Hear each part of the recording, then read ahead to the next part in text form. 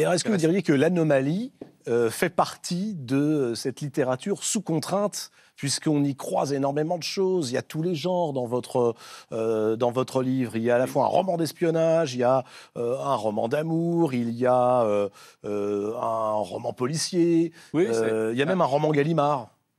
Un, roman Gallimard blanc. Oui. oui, en fait, il y avait un projet dès le départ qui était d'avoir beaucoup de personnages. Quand on veut avoir beaucoup de personnages dans un roman, euh, il faut les qualifier, il faut les incarner, il faut leur donner le moyen d'exister. Et un des moyens littéraires de faire exister un personnage comme un tueur à gage, c'est de le faire vivre dans un univers de tueur à gage, y compris un univers de langue. Donc je commence par un roman qui est un roman noir à la manchette, et ça dure dix pages. Et pendant ces dix pages, j'installe un, tueur à gage. Ensuite, je passe à un roman de nature sentimentale avec un autre personnage, et euh, la différence de style permet qu'à chaque fois qu'on qu'on évolue et qu'on passe d'un personnage à un autre, on reconnaît un peu dans quel univers on est. Donc c'est un jeu. Donc il y a un jeu. C'est une question de rythme également, hein, parce que ça, c'est des ruptures de rythme. Euh, oui, parce que chaque fois vous écrivez différemment à la manière de. C'est ça, c'est une... à la manière et en même temps c'est un peu ma manière, c'est-à-dire que euh, ce sont des choses que, que j'aime faire et avec lesquelles j'ai envie de jouer. Le, le roman euh, de type, euh, par exemple, pour prendre le, tueur à gage, j'avais fait il y a quelques années un poulpe à la demande de Jean-Bernard Puy. J'avais adoré faire ça avec la règle qui avait été imposée par Jean-Bernard, qui m'avait dit si tu dois faire un poulpe, tu le fais en deux mois. Je, l'avais regardé comme ça, parce que moi, écrire un roman, ça me prend un an, un an et demi. Il m'avait dit un, roman policier fait en plus de deux mois, ça ne peut pas être bon. je trouvais que c'était un concept euh, un peu anti-Chandler, mais bon, euh, pourquoi pas.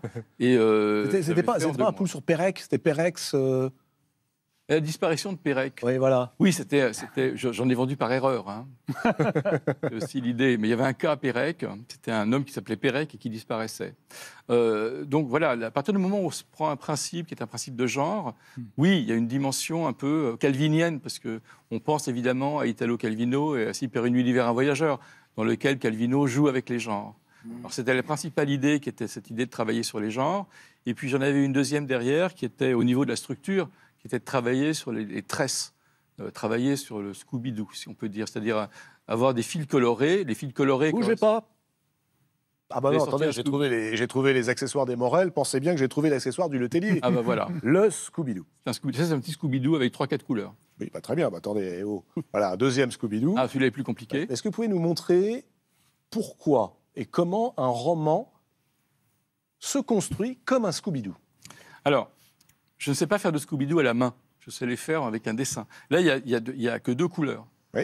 Et donc, ça veut dire que si on avait un système avec euh, deux couleurs, on aurait simplement deux types de personnages. Et ces deux types de personnages, ce serait un roman sentimental, je vois qu'il est rose, et puis un roman bleu qui peut être, par exemple, un, on va dire un roman policier. Et on, entremêlerait les deux de manière à avoir systématiquement le, roman sentimental avec le roman policier. Ça pourrait être, par exemple, un des personnages qui est une, euh, une policière qui dénoue une affaire qui est celle-ci. Et on entremêlerait les deux histoires simultanément de manière à avoir un, un, système narratif dans lequel il y a un contraste entre les deux situations. Et c'est ce qu'on pourrait faire. Alors dans le roman euh, euh, L'Anomalie, il y a beaucoup plus de personnages. 11 personnages, hein, j'ai compté 11 personnages principaux. Alors, oui, c'est ça, il y a 11 principaux. Principaux. Il y a, quelqu'un qui m'a envoyé la liste des personnages. Euh, j'étais impressionné, je ne savais pas que j'en avais fait autant. Ah bah, il y en a 243 parce que c'est les passagers de l'avion. c'est pas, justement, j'ai pas les 243 passagers de l'avion, j'en ai choisi 8, euh, je crois, dans, l'avion, euh, dont le commandant de bord, et, c'est eux que je suis. Alors, il y a donc en fait 11 fils que je tresse et que j'essaye de suivre de chapitre en chapitre. je suis à la limite, à mon avis, de ce qu'un lecteur peut accepter. Peut endurer, oui, c'est ça. Peut endurer. Mais, cela dit, c'est passionnant parce que. C'était volontaire et, je pense que ça marche. C'est-à-dire que tout le monde m'a dit que ça fonctionnait, mais j'en ai pas mis 13 ou 15 ou 20. Je me suis limité à ces 11 personnages qui tous sont très identifiés, mm. qui sont très incarnés, euh,